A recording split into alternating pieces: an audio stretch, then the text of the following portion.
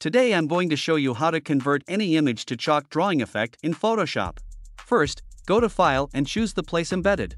And place the model. Hit Enter or Return on your keyboard. Go to Select and choose the subject. Select the polygonal lasso tool. Click Add to Selection. And select Safety Lanyard. Click the Add Layer Mask icon. Right-click and choose the Convert to Smart Object. Select the Move tool. And position the image in the center. Click the foreground color and make sure the foreground color is white. And click OK. Go to Filter and choose the Filter Gallery. Click the Sketch folder and choose the photocopy. Just copy these settings. Once you're satisfied, click OK. Change the blend mode of the model layer to screen. Click the FX icon and choose the blending options.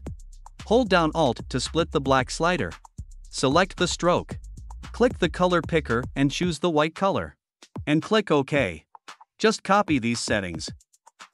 When you're done, click OK. And this is the result.